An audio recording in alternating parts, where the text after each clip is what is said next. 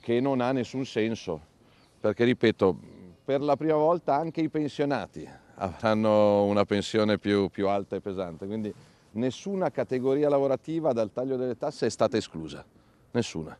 E quindi ci aiutassero a trovare più soldi in Parlamento per tagliare le bollette della luce e del gas, ad esempio tagliando un po' di sprechi dal reddito di cittadinanza.